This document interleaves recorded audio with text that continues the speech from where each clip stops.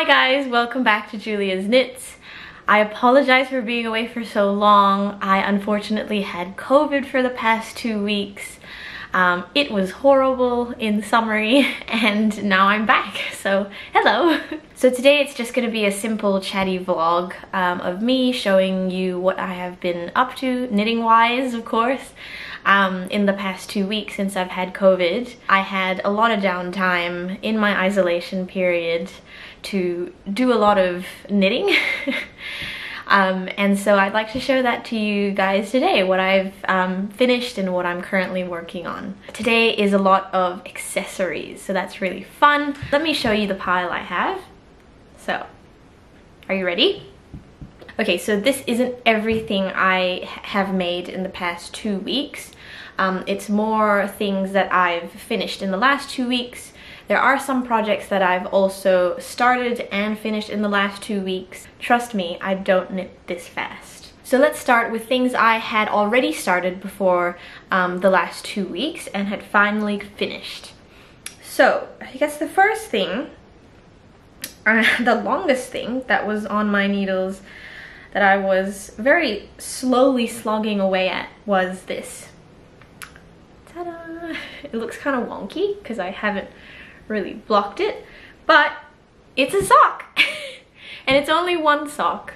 Um, I'm currently doing the second sock. Here's the second sock. Um, it's in this gorgeous yarn from um, this brand called Manos del Uruguay. Um, it's the superwash merino. I think it's 75% superwash merino and 25% polyamide. Um, and it's the in the color Pindo and it's just this beautiful um, you know, blues, greens, yellows, purples. It has amazing colors throughout the whole uh, knit. And so I had finally finished the first sock. finally.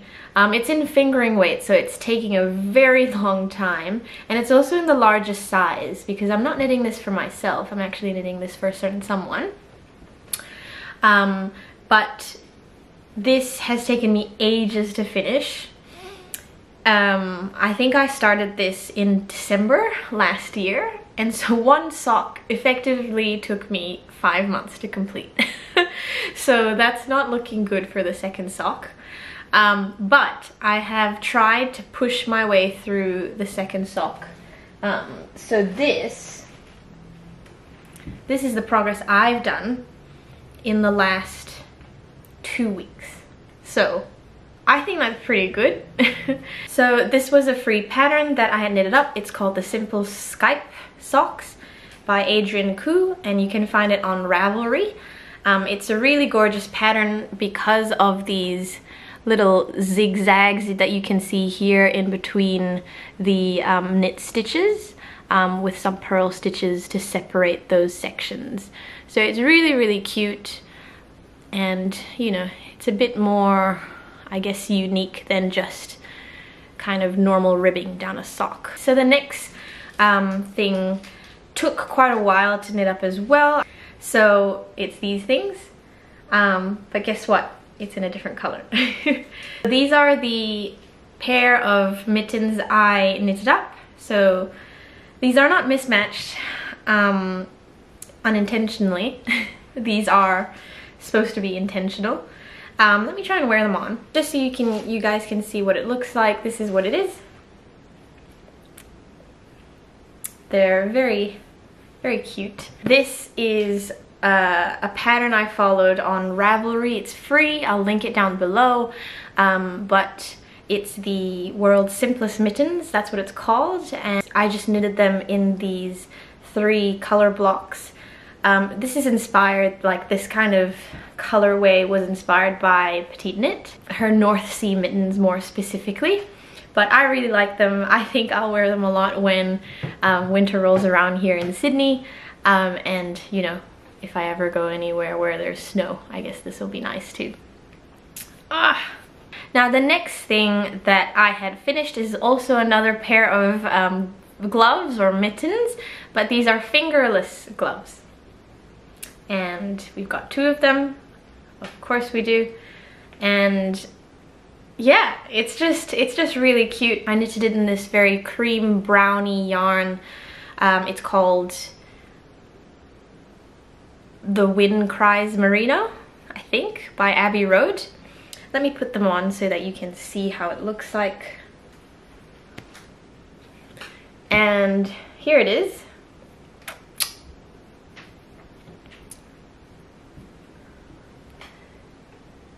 So up close, that's how it looks like. This is another free pattern by Well Loved Knits. You can find it on her website. Um, I'll again link it in link it in the description box below. But this um, fingerless glove pattern is also at the same time inspired by Petite Knits other pattern, um, the fingerless glove pattern. I'm not sure what it's called. I'll link it again down below, but that's a paid pattern. But I really tried to imitate the edging that is apparent on uh, Petite Knits pattern because I thought it was beautiful. Okay, this is another thing I am really, really proud of. Uh, it's again another accessory. We're only showing accessories today. But, guys, are you ready? Oh my god. If you don't know what this is, it's a balaclava. Um, specifically, it's balaclava number one from My Favorite Things Knitwear. So that's how you would wear it if my hand was my head. Um, I'm not gonna put it on because I don't wanna mess up my hair.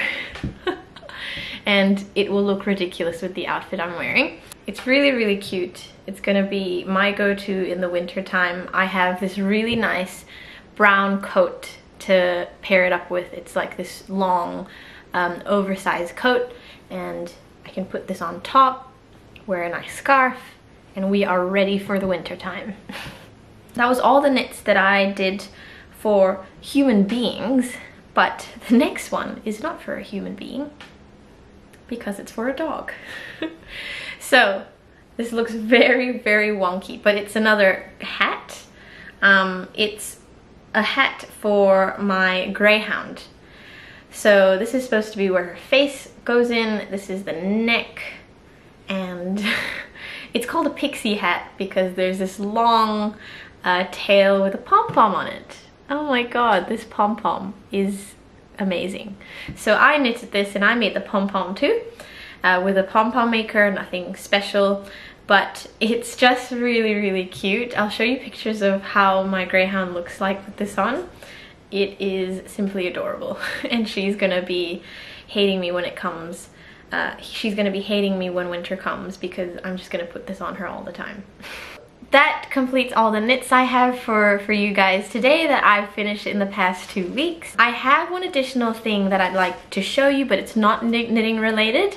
Um, it's actually a sewing project, um, but it's this.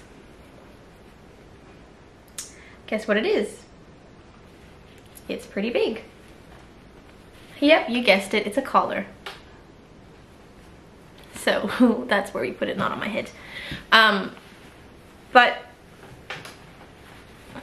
so I'll show you what it is. So this is an oversized collar by Rosery Apparel. I'll put her link down below, but it's a free pattern um, that you can follow to, to sew the oversized collar of your dreams. Um, I'm not wearing it that uh, correctly because that you can see my collar, but even like this, it's kind of cute. This took me half a day to make. A bit longer than I was expecting. But I really am in love with the project um, with the finished project.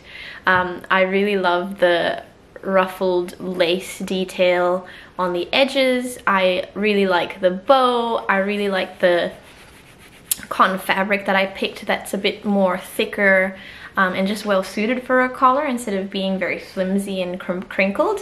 I really like it, but you know, my partner thinks I look like someone who came from Salem, um, but I'm okay with that. um, yeah. So let's take this off. So that's all I have for you guys today. I hope you enjoyed this video and uh, yeah, definitely check out my other videos if you enjoyed this kind of content. But yeah, thank you so much and I'll see you guys in the next one. Bye!